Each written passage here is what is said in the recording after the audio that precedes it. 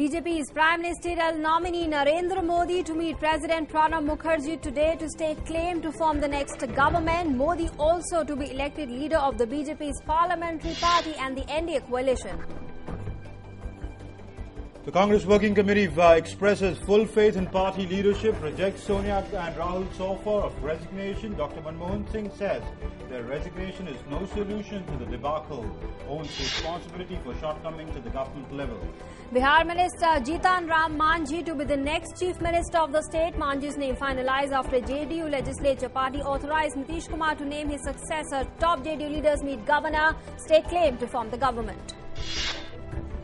And after Bihar, political churning underway in Uttarakhand as well. Tourism Minister Amrita Rawat removed from the cabinet. Rawat is the wife of Satpal Maharaj, who switched loyalties to the BJP before the Lok Sabha elections.